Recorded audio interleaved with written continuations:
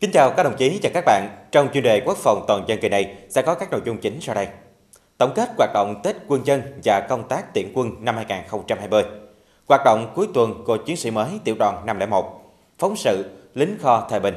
Bây giờ, mời các đồng chí và các bạn theo dõi phần tin chi tiết.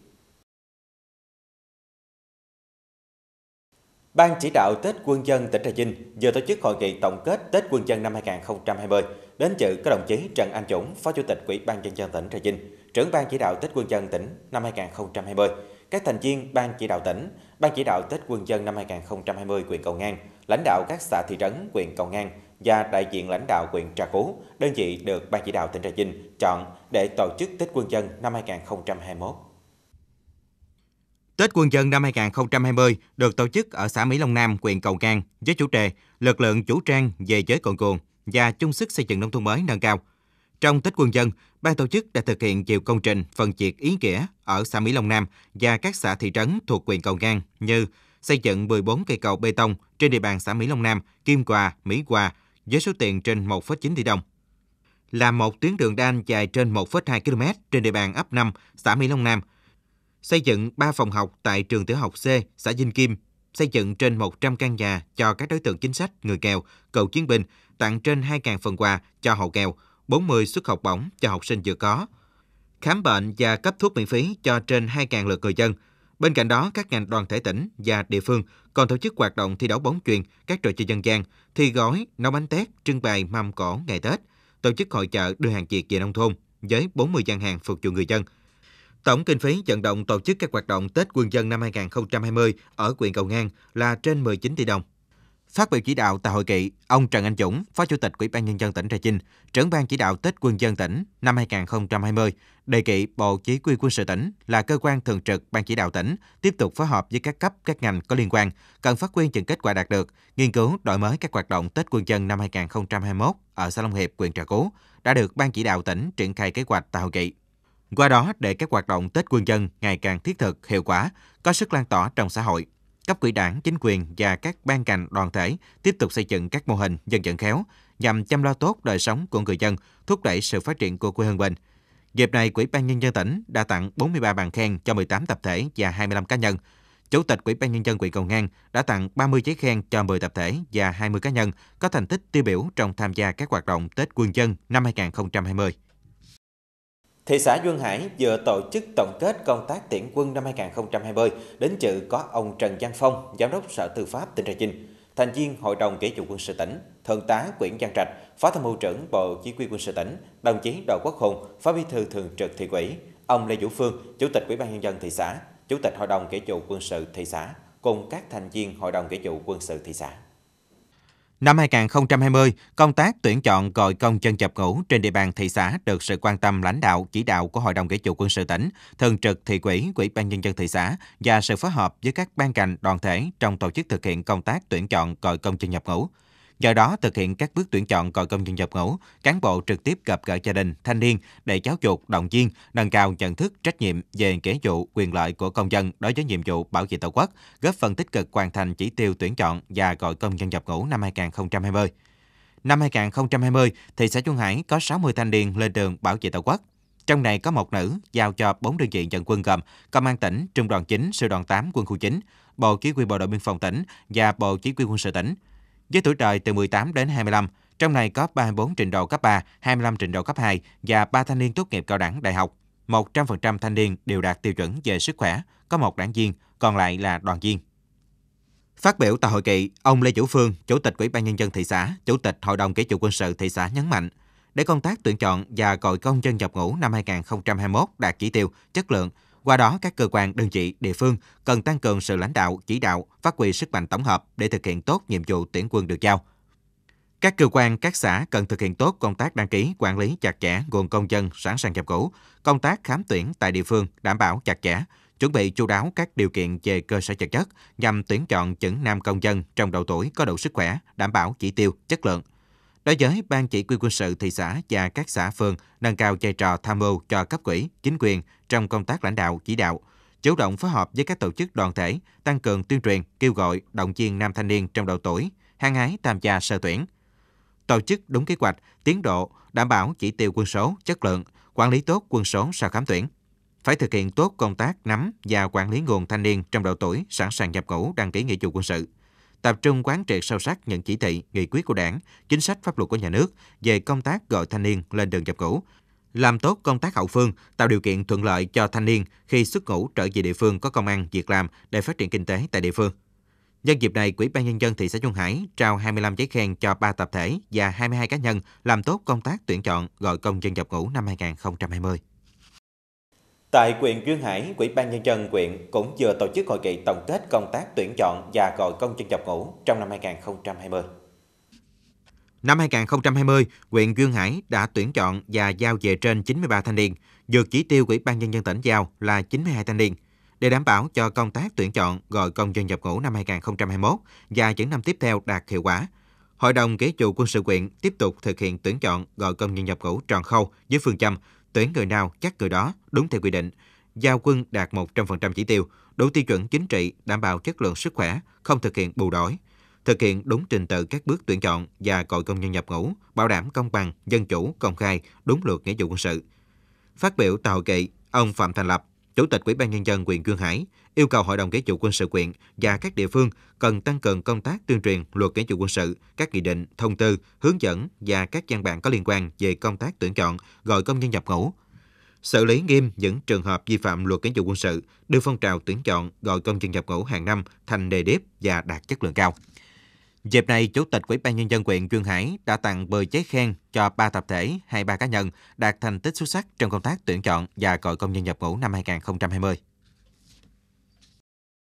Bộ Chỉ huy quân sự tỉnh Trà Vinh vừa kết hợp cùng Sở Y tế tỉnh tổ chức gặp mặt trao giấy xác nhận và tiễn công dân đã hết thời gian cách ly tập trung phòng chống dịch bệnh COVID-19. Công dân anh DHBN sinh năm 1997, ngụ tại phường 7, thành phố Trà Vinh, là sinh viên du học tại Hàn Quốc đã đủ thời gian cách ly tập trung phòng COVID-19 tại Trung đoàn 926, về lại địa phương. Sau thời gian 14 ngày được cách ly tập trung để phòng bệnh COVID-19, công dân BND được cấp giấy chứng nhận hoàn thành thời gian cách ly và được hướng dẫn cách ly tại cộng đồng thêm một thời gian nữa. Sau thời gian trên, nếu sức khỏe vẫn bình thường thì sẽ trở lại sinh hoạt với cộng đồng.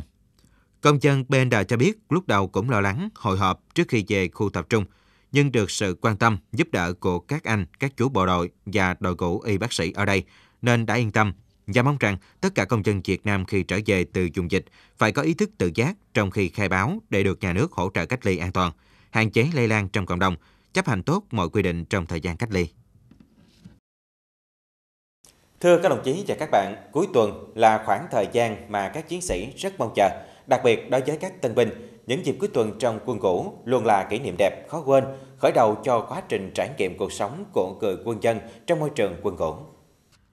Ngày thứ Bảy, tuần thứ năm của chiến sĩ mới ở tiểu đoàn 501, trung đoàn 926, Bộ Chỉ huy quân sự tỉnh diễn ra bàn việc tham gia huấn luyện bổ sung điều lệnh đội ngũ. Đây là đội chung khó mà các tân binh phải trải qua. Mặc dù là ngày kỹ, nhưng 7 giờ sáng từng tiểu đội đã có mặt trên trường biết để hồ giang khẩu hiệu 1212 qua lẫn thanh âm của nhịp chân đều bước để ôn tập điều lệnh đội ngũ. Những chọt mồ hôi đã lăn trên má các chiến sĩ trẻ, khiến họ như cảm nhận chân thực và thấu hiểu được sự chất giả trong môi trường quân ngũ. Ngày vô đến nay là em đã ở đây được một hơn một tháng. À, vô đây thì mấy ngày đầu em cảm thấy nhớ nhà, ờ, nhớ người thân, nhưng mà có các ờ, chính trị viên, đại đội, đại đội trưởng đều tổ chức cho em được chơi thể thao, rèn luyện điều, điều lệnh hội ngủ vì với hôm tối còn có sinh hoạt sinh hoạt đờn ca hát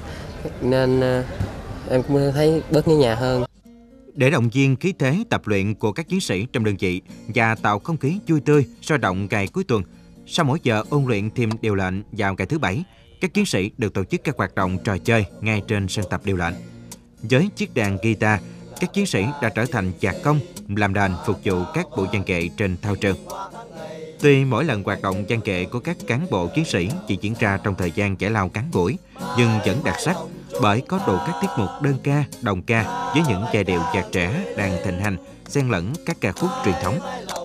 Các hoạt động văn kệ trên thao trường đã kéo cán bộ chiến sĩ lại gần nhau hơn và điều quan trọng là qua show diễn ngẫu hứng sẽ giảm bớt không khí căng thẳng của một buổi tập luyện điều lệnh đội ngũ. Thứ bảy Nhật là mấy ngày em sợ nhất vì trong đây rất là buồn tẻ những ngày đầu vô là các nhớ nhà mà đơn vị đã tổ chức các đợt hoạt động thể thao à, rồi huấn luyện các em cũng đỡ phần nào ờ, phần nhớ nhà hơn. À, so với lúc ban đầu hiện giờ chúng em đã đang an tâm tư tưởng để công tác và học tập tại đơn vị. Do các ngày trong tuần đều tham gia huấn luyện nên chờ phút thảnh thơi dịp cuối tuần của các chiến sĩ mới phải bắt đầu từ thứ bảy với những hoạt động thú vị như thi hát karaoke, xem phim, thi đấu bóng đá, bóng chuyền. Tuy nhiên, khi ngày Chủ nhật bắt đầu thì tân binh ở các đơn vị mới thật sự được thư giãn với nhiều lựa chọn phù hợp theo sở thích, sở trường. Chiến sĩ Quỳnh Minh Khang, tiểu đội 2, trung đội 1 cho biết, chúng có niềm đam mê sách báo nên giờ đọc sách báo trong ngày cuối tuần rất có ý nghĩa đối với anh. Trong điều kiện không được tiếp xúc với Internet thì nguồn sách báo tại đơn vị rất quan trọng, giúp những chiến sĩ mới như Minh Khang có thêm hiểu biết, đặc biệt là những tri thức về hoạt động quân sự mà mình sắp được trải nghiệm. Ờ, đơn vị còn tổ chức như là thể thao ờ, bóng đá, bóng chuyền ờ, và một số là thể thao như là văn nghệ, ca hát để giúp cho tụi em và các đồng chí đồng đội khác an tâm tư tưởng và đỡ nhớ nhà nhiều hơn để tích cực học tập và rèn luyện trong đơn vị. Khác với Khang hay Thừa, chiến sĩ Lê Văn Bến, tiểu đội 4, trung đội 2 lại ưu tiên thời gian để tham gia các hoạt động giao lưu thể thao vào dịp cuối tuần. Sôi nổi, ưa vận động, lại chơi được nhiều môn thể thao, nên trong những trận giao hữu bóng đá ngày cuối tuần, Bến luôn góp công lớn giúp trung đội thắng giòn giả. Khi vào ngủ thì em cũng lúc đầu cảm thấy rất là nhớ nhà, nhưng sau đó cũng nhờ đơn vị tổ chức các phong trào thể thao như là bóng chuyền, bóng đá làm cho chúng em đỡ nhớ nhà hơn và vui chơi hòa đồng với mọi người hơn. những ngày đầu À, nhập ngũ của chiến sĩ mới năm 2020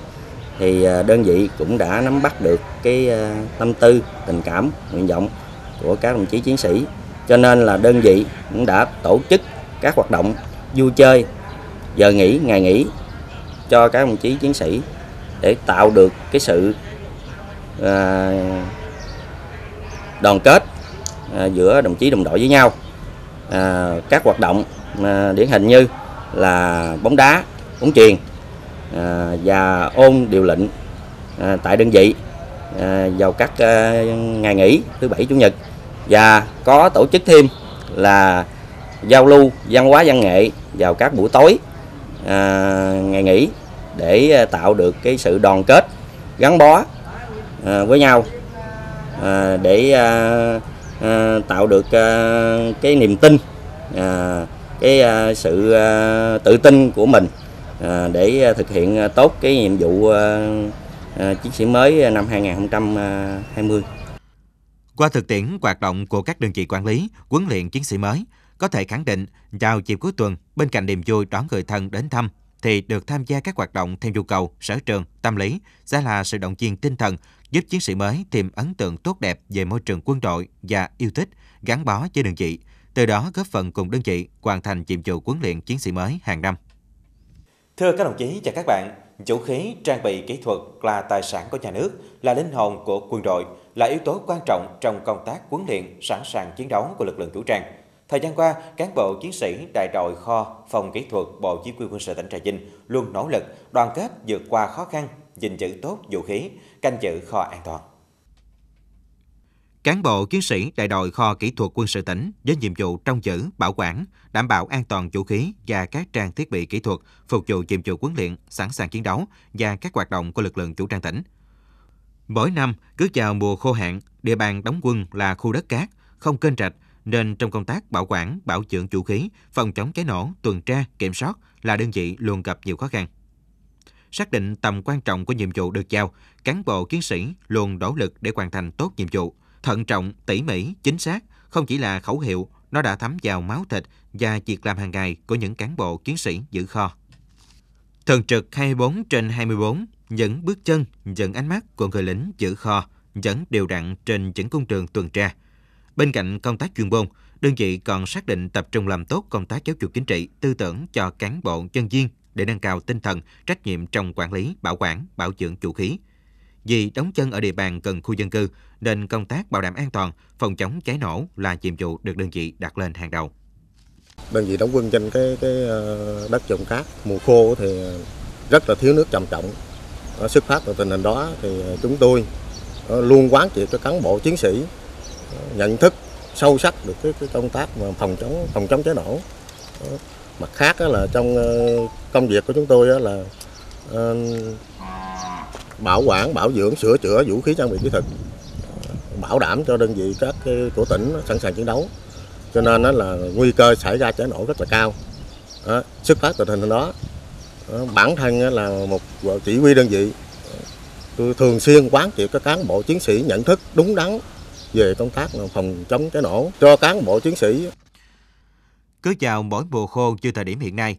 trời hanh khô, nhiều gió nên rất dễ xảy ra mất an toàn. Để đảm bảo an toàn cho công tác phòng chống cháy nổ, từng cán bộ chiến sĩ đơn vị đã chủ động làm xong tất cả các việc phòng chống cháy nổ trong mùa khô, phát đường băng, dọn cỏ khô, kiểm tra, bổ sung dụng cụ, phương tiện phòng chống cháy nổ, kho tàng được kiểm tra, tuần tra liên tục cả ngày lẫn đêm, bất kể thời tiết thế nào. Trong những năm vừa qua, được sự quan tâm của quân khu và tỉnh, dành đai an toàn kho được cắm mốc, ký cam kết với nhân dân sống xung quanh. Đường tuần tra được bê tông hóa, các lớp rào được củng cố xây dựng mới. Hàng rào mới quanh kho hiện nay đang trong giai đoạn hoàn thành an toàn và vững chắc. Cùng với đó, hệ thống điện chiếu sáng để bảo vệ trong và ngoài được nâng cấp. Sự quan tâm đầu tư này ngoài giúp nâng cao được ý thức gìn giữ, bảo vệ cho cán bộ chiến sĩ và nhân dân, còn rất thuận lợi cho việc kiểm soát, bảo đảm an toàn, nâng cao hiệu quả công tác bảo vệ, giúp phát hiện kiểm soát cháy nổ. Bản thân luôn ờ, ý thức trách nhiệm của mình trong việc mà bảo vệ an toàn ờ, kho cũng như là công tác phòng cháy chữa cháy của kho. À, đặc biệt là trong mùa khô hạn thì ờ, bản thân ờ, cùng đơn vị luôn ý thức trách nhiệm tổ chức luyện tập các phương án phòng cháy chữa cháy À, để đảm bảo an toàn kho trong mùa khô hạn cũng như là trong công tác bảo quản bảo dưỡng vũ khí để đảm bảo là không xảy ra cháy nổ bất cứ tình huống nào. Trong thực hiện nhiệm vụ tuần tra bảo vệ, người lính giữ kho là những người đi bộ chiều nhất, vì trong mỗi cài gác họ phải đi tuần liên tục, qua lại trên khu vực đảm nhiệm, không được người nghỉ lơ là. Sau 3 tháng tân binh thì tôi được biên chế về đơn vị đại đội kho à, vũ khí của tỉnh. Thì ban đầu thì công việc ở đây còn đôi lúc còn bỡ ngỡ, cảm thấy mình khó khăn. Thì qua thời gian thì được à, ban chỉ huy đại đội hướng dẫn tận tình, giúp đỡ để hoàn thành tốt nhiệm vụ. À, đặc biệt là trong mùa khô hạn này thì ban chỉ huy đại đội cũng quan tâm à, luyện tập các phương án phòng cháy cháy để đảm bảo kho tàng mình an toàn bản thân thì luôn nhận thức à, việc à, đảm bảo phòng cháy chữa cháy của đơn vị là cao